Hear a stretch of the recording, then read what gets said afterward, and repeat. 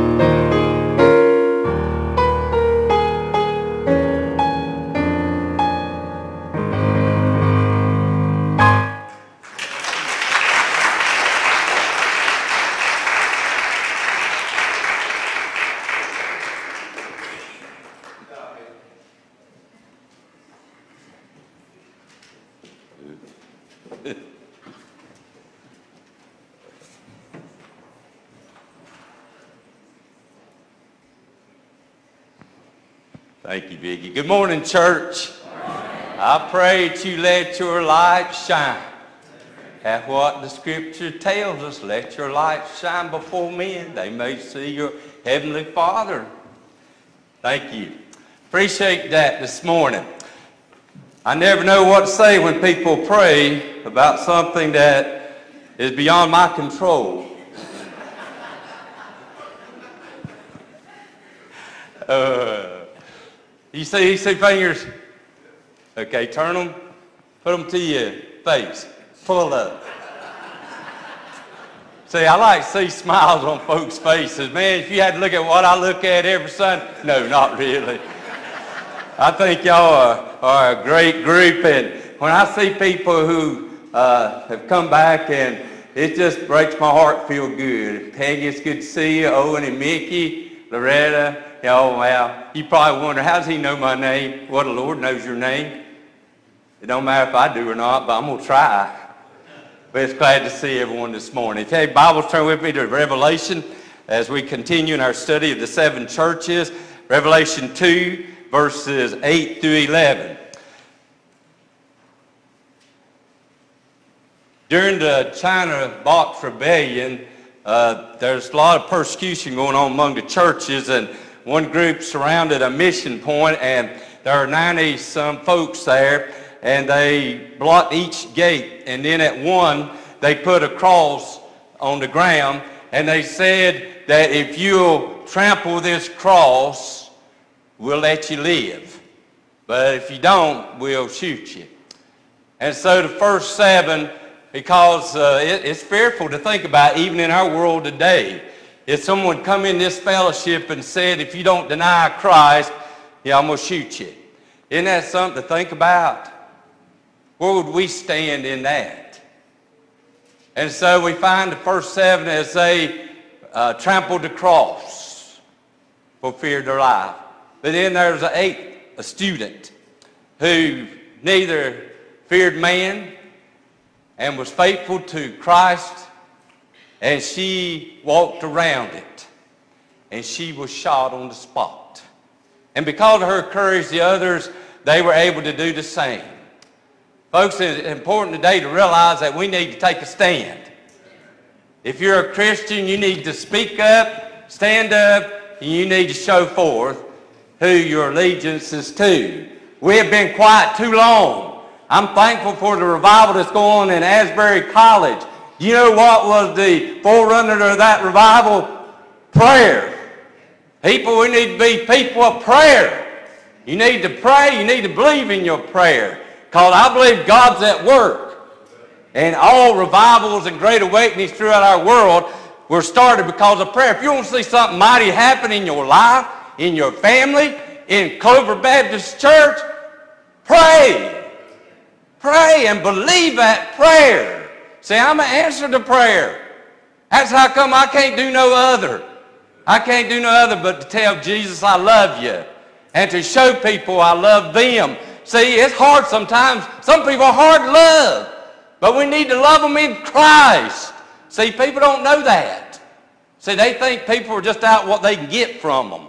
I'm not out to get anything from you. I just want you to know Jesus. And that's what John, you know, he was exiled to the Isle of Patmos.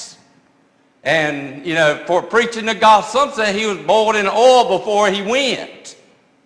But, you know, through his commitment and his uh, stand for Christ, God rewarded him with the revelation of Jesus Christ. And that's what we're looking at tonight. I believe the Spirit is working. He's working in our midst. And He's trying to say something to us. Are you listening? You know, so many people have listening problems. You know, it's not only be doers, uh, uh, hearers only, but doers of God's Word.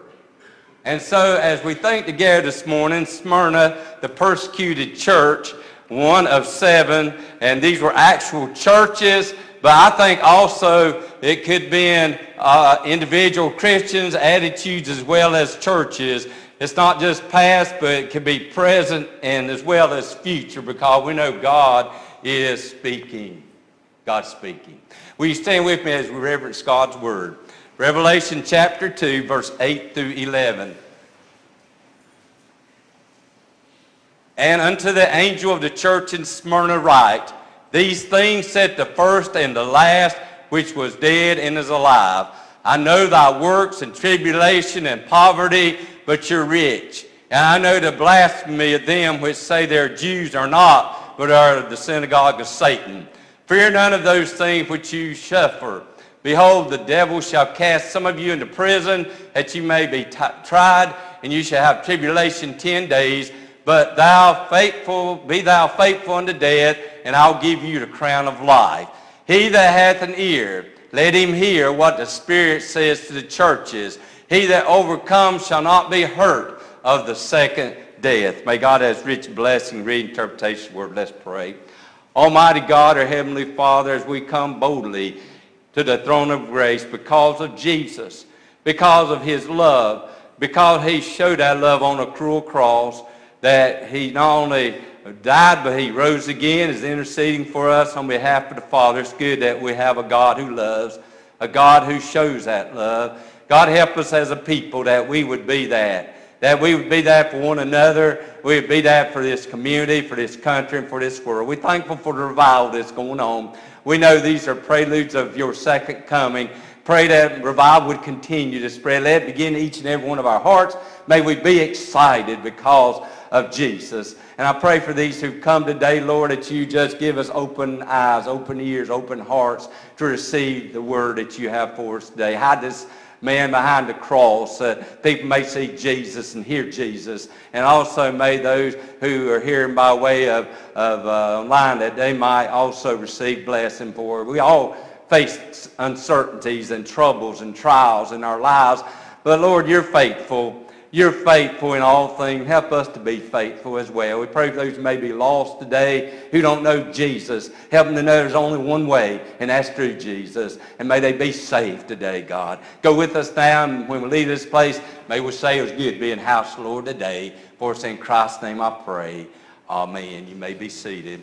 We found last week that we talked about a church, Ephesus. It was a beautiful uh, place uh, that had been founded, and it was like the gateway to Asia. And we find that it had a lot of good things going forward. It was stamping out all kind of evil and stamping out all kind of things. But the fact remains their motivation had gotten off. They were doing it out of duty rather than devotion we need to be careful when we approach people that when we share what they're doing may not be what they ought to be doing. They need to know it's motivated by love. It's not out of hate. Brother, I love you. That's why when I ask people, do they know Jesus? I say, it's because I love you. You know, I want you to know him.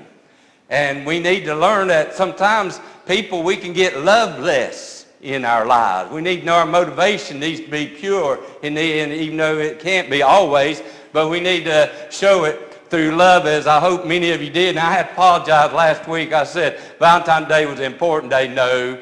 Anytime, uh, birthday, anniversary, whatever, you need to show love. See, my wife, she's good at that. See, I say things sometimes, that I know what I mean, but I don't want you to misunderstand. But it's important for us to take any opportunity, every opportunity to tell your spouse or your children or others that you love them. I don't want a day go by. I don't want them, if something happened to me, the last thing I pray they hope they hear or remember is that I love you. Because I tell you what, that can cover a multitude of sins. It can, it does.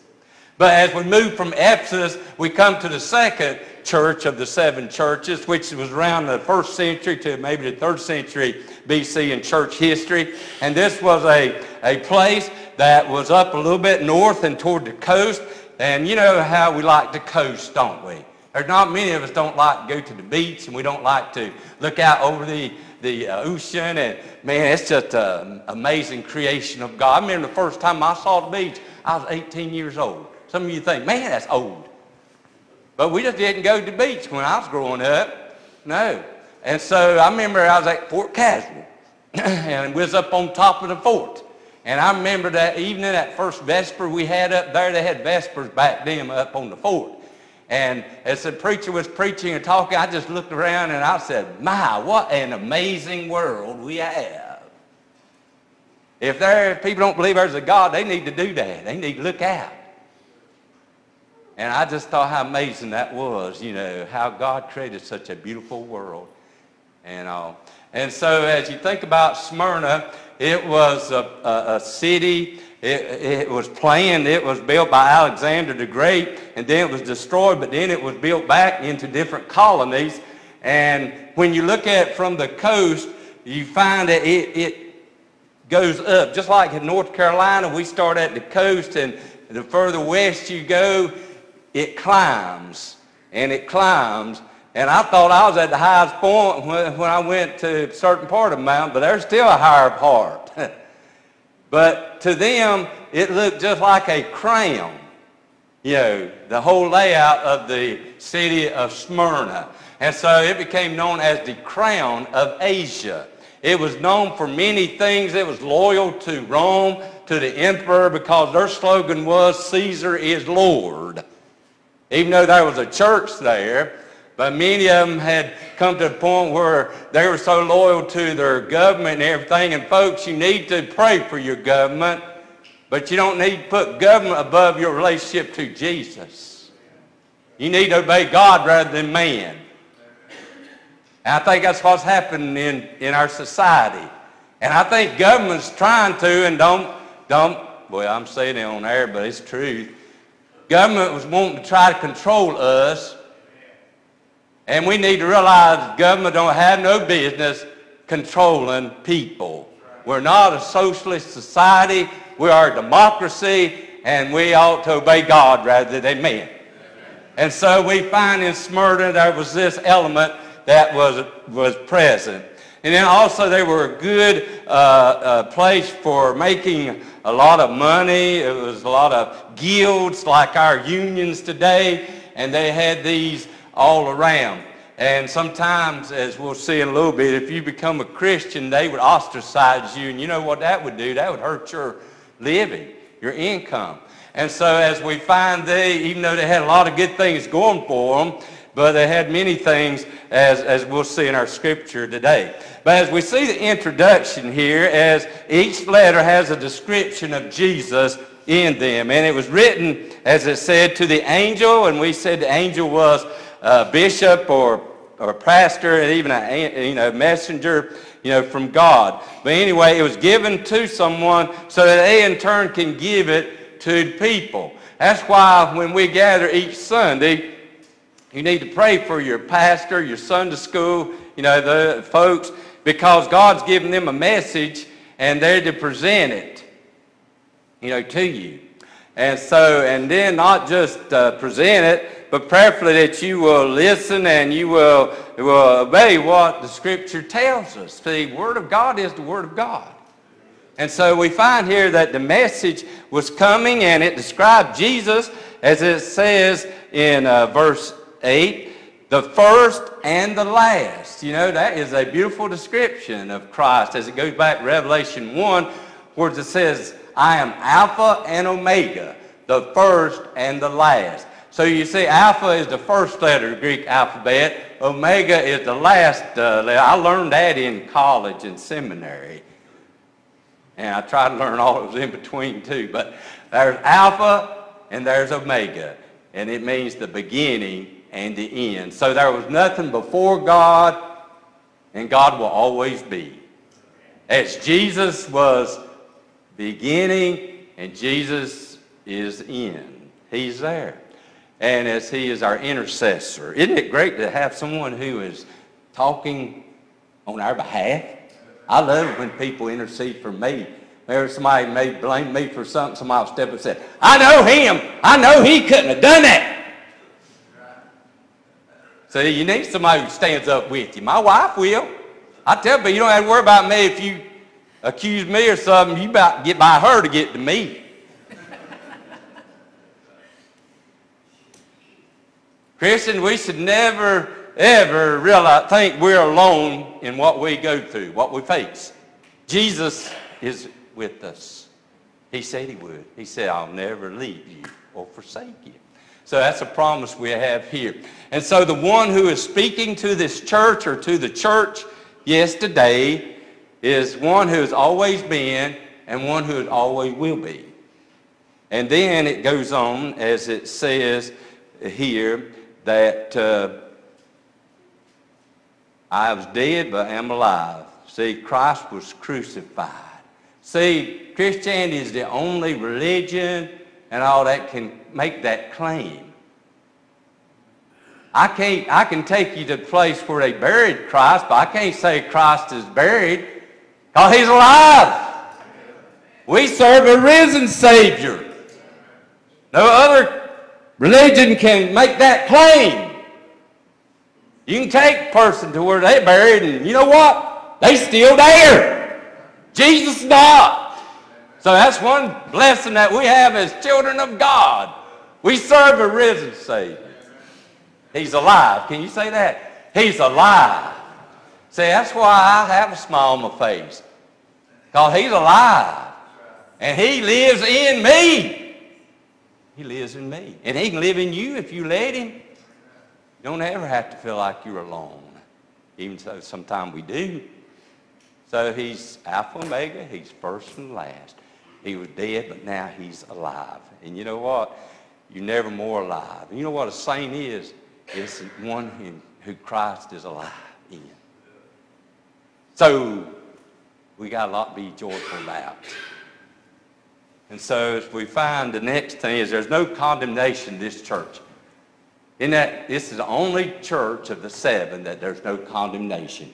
You might wonder, how in the world can that be? Well, it's when you trust in the Lord, when you love Him, and when you're serving Him with all your heart. You know. Even though none of it's perfect, not, it doesn't mean this is a perfect church. Like I told you, if you ever find a perfect church, don't join it. I think a lot of people are looking for that church, but let me tell you something, it don't exist. See, all of us sin and fall short of the glory of God. Even this preacher. I said, the only reason I'm up here is where they built this thing. I'd rather be down there.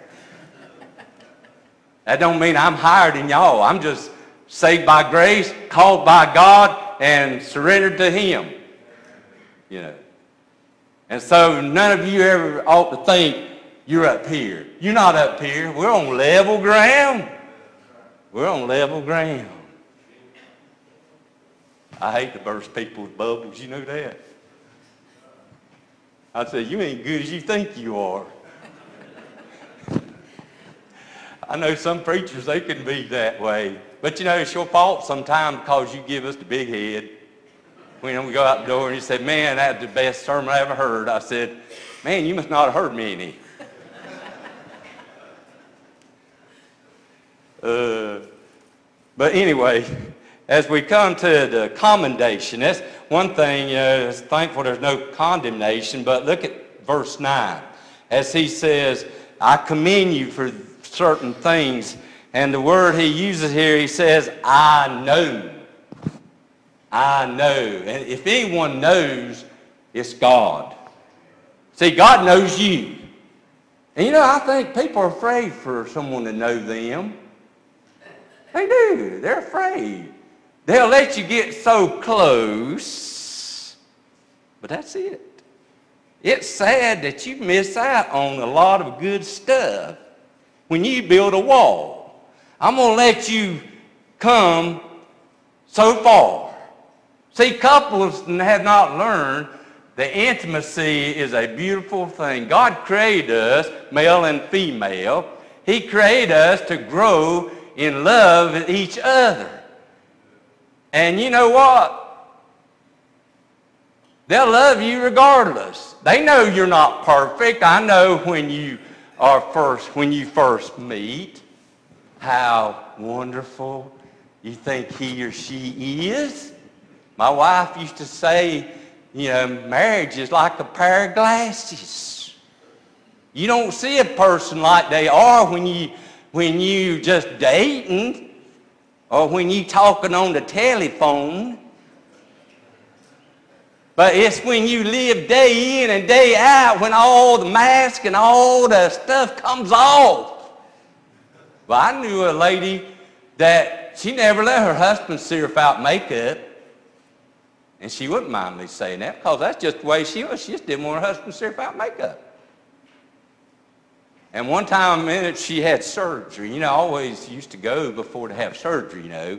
And you know, when you have surgery, you can't put makeup on, I don't think. But anyway, uh, I asked her, I knew how she was, and I said, uh, do you want me to come see you?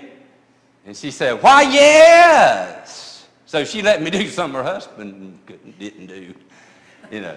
But anyway, the idea, as we see here, as, you know, God knows you. I don't know why people don't like that. Isn't it wonderful that God knows you? He knows you inside and out, and He loves you. He loves you. Just as I committed to my spouse, to my children, my grandkids, and to whoever God puts in my life. See, I'm going to love you regardless, and that's what he did on Calvary. See, he looked out over that crowd, and you know, you have done the worst, but I still love you. And I want you to know today, there's nothing you can do that God wouldn't love you. He's forgiven you if you'll say, Lord, I'm sorry. I'm sorry. But you know, there's a lot of good things that were going on in the church at Smyrna. He classified it in three ways. He says, I know your affliction, I know your poverty, I know your slander. You know, Jesus gave a pretty hard call to us as followers. I think most people forget that. You know, he told his disciples early on, he said, if you come after me, you must deny yourself, take up your cross, follow me. I really believe that most people don't realize that's not easy.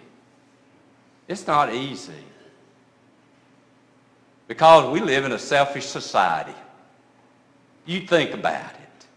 We do. You look around, it's all about me. Let me, have, let me give you a clue. It's not about you. As a child of God, it's about him. It's not what I want, it's what he wants. And somehow the, the Christian at Smyrna, they got a hold of that. You know, it's wonderful when you get a hold of that to know that God loves you regardless. And he never said it's going to be easy to follow him. I mean, we in America have been so blessed. We have. We are so blessed.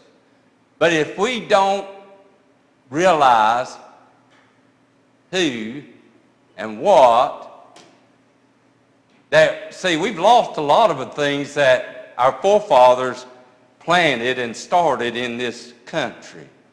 It's because we stood by and allowed it to happen. People don't think they can pray or they can, can uh, read the Word of God or, I mean, go to church. There'd be people in other countries would yearn, would, would, would love to be able to come to a church.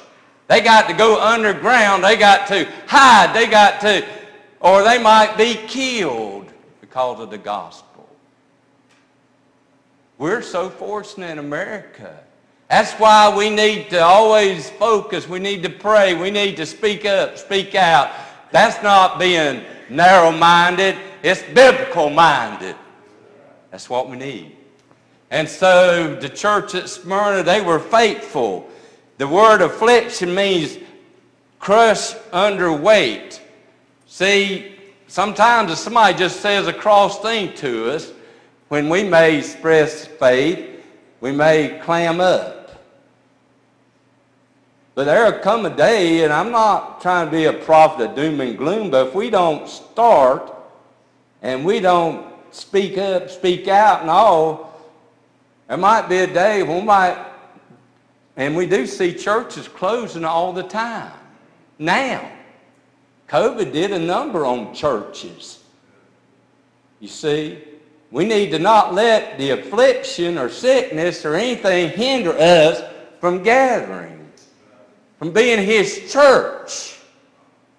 You see, the affliction that the Smyrna folks were going through was a fact, as we'll see in a moment, even as the devil was inflicting harm, you know, upon them.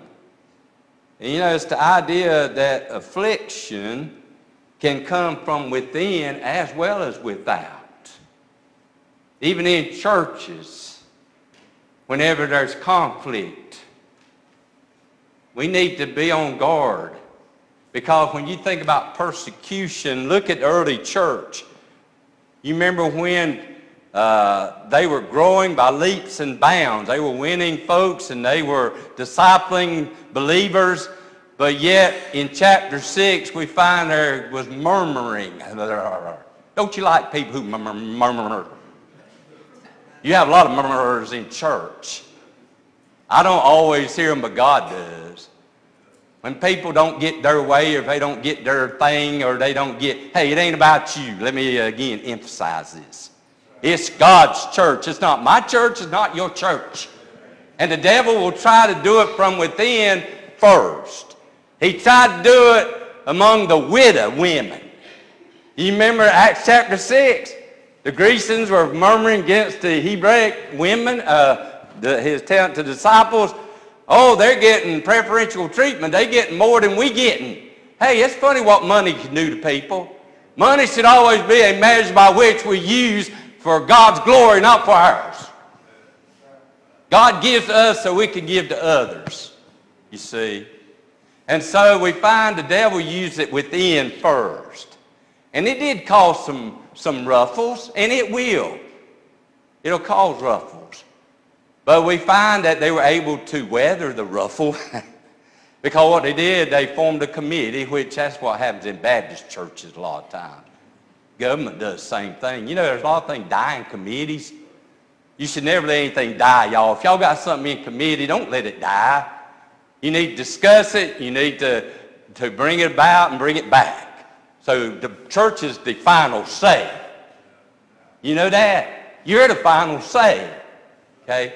And so what happened, uh, that the devil tried to destroy the church from within. Don't ever allow the devil to do that. You are children of God. And don't listen to him. Determine, is this what I want is what God wants? Okay? And then, of course, the external, you know, divisiveness that can happen. You know, it's sad, though, that there are people out here, and, and you're going to face them, our young people, children are going to face them even more as time goes on.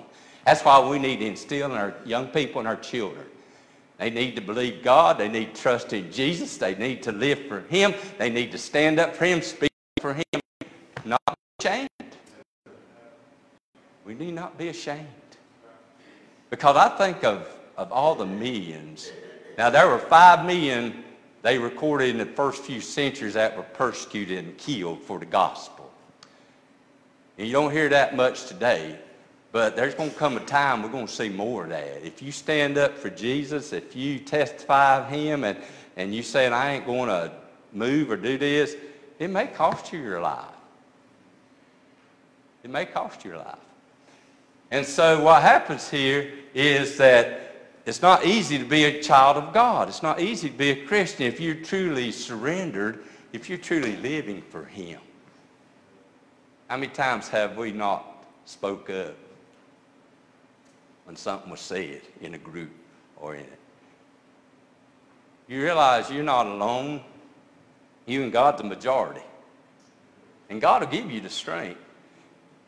You need to be that one. Because there's so much out there and so much that people are allowing to take hold of their lives. Are you living for Jesus? Are you living for the world? See, so there's going to come afflictions in their lives and we need to be honest and honor him. And then another thing is poverty. As I said in Smyrna, there were guilds, and you had to belong to one in order to have a business, you know, to make money. Uh, but there was many, when they found they were Christians, they ostracized them. And you know what? When you don't have a business, how are you going to take care of your family? How are you going to provide? How are you going to make a living, you know, for others? And see, sometimes we don't need to allow government to, we don't need to be entitled to government. Because when you're entitled to government, you have to do what they say. People better not say, well, you get government. I said, no, I don't. I get Social Security. I paid into that. I earned that. Government ain't give me nothing. The government takes away. They don't give. even though they try to convince you of that. We don't need to be dependent on government. We need to depend on God. God provides. People going to go out here thinking that preacher's anti I'm not anti-government. I believe we ought to support and pray for our government. But when they cross the line, that's where I speak up. Because what was happening in Smyrna was, you know, many of the Christians were poor they, it, it, seemed like it appealed to poor people. You know, Abraham Lincoln said one time, God must have loved poor people because he made so many of us. But you know what? To be honest today, you're not poor.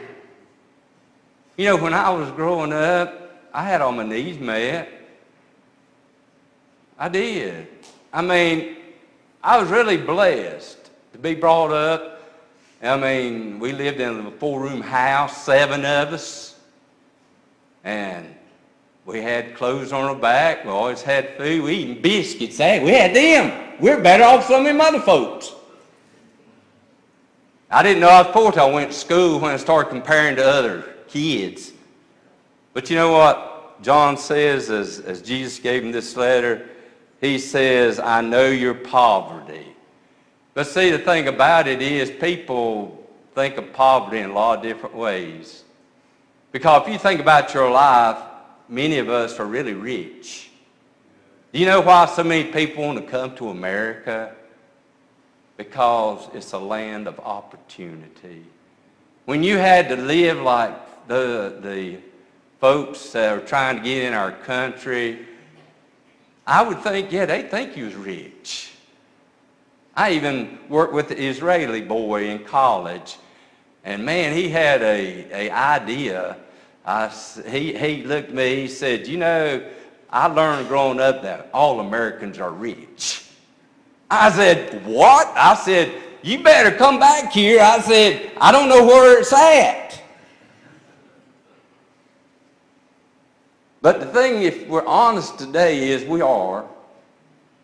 And the Smyrna Christians, even though they were poor, even some of them were having a difficult time making ends meet, but it said that they were rich because they knew Jesus. You see, it ain't the size of your bank account that makes you rich. It's like a boy used to text me every Saturday says, we're blessed, too blessed to be stressed. Do you know that today? You and I, we're too blessed to be stressed. Because everything we receive is from God.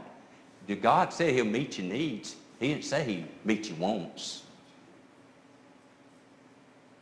And I have all. I don't need anything. You need to get to that place in your life that I have all I need. When you have Christ, he's all you need. I don't put my trust in things because you know what? Those things will disappear. Have you ever seen a hearse behind, a U-Haul behind a hearse yet? I don't know why people think they're going to take it with them. I mean, there's things that, yeah, that, that we can send on ahead. Those things that we, we uh, love and, and trust, the folks we share gospel with, you know, there's things that are going to go ahead before us, but they're not silver or gold or things. You know, they're more lasting. Know that I have a home in heaven. That's all the riches I need. I might have old shanty down here, but I got a mansion on the hilltop. And so today, as we think about commendation, they were, they were commenting on their affliction, their poverty, and then lastly, slander. And you know, slander is, is, is uh, taking a truth and making a falsehood out of it. And when you slander somebody, you're, you're you know, uh, slandering their name or, or position or whatever. But the Christians are a most misunderstood group of people.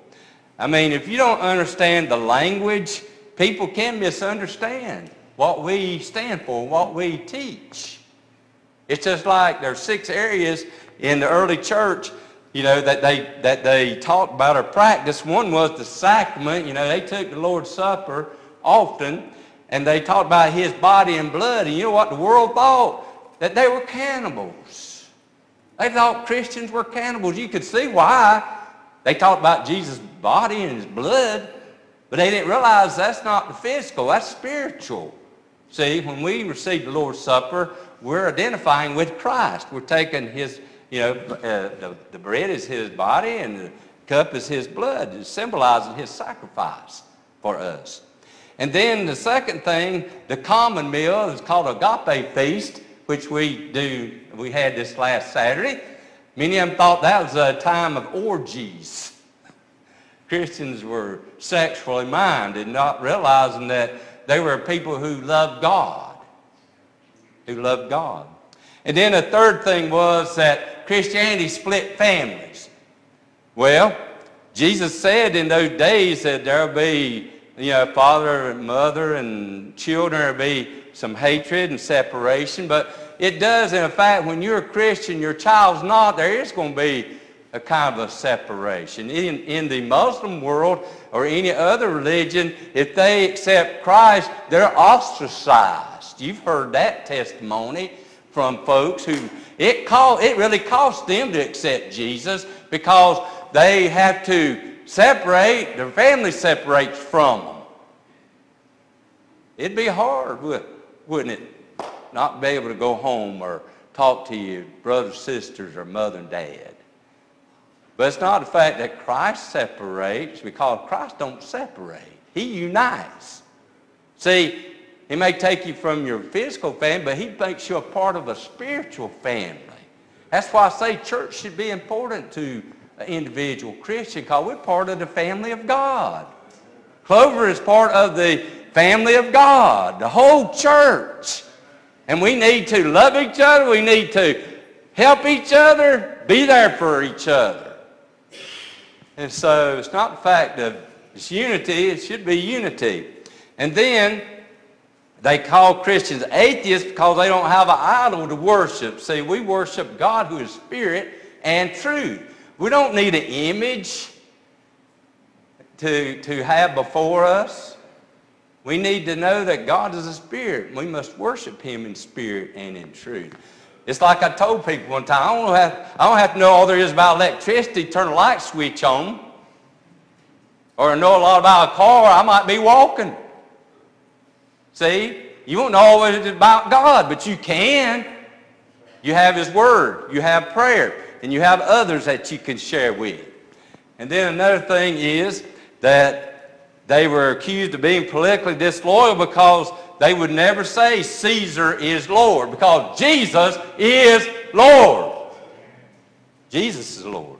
And the last thing quickly is that they were accused of being incendiaries because they preached to hell, a fire. And folks, you don't hear much about today, but there's two places people go, heaven or hell. If you're a believer, you go to heaven. If you don't, you go to hell. And I don't mean that in a derogatory sense, but that's just the truth.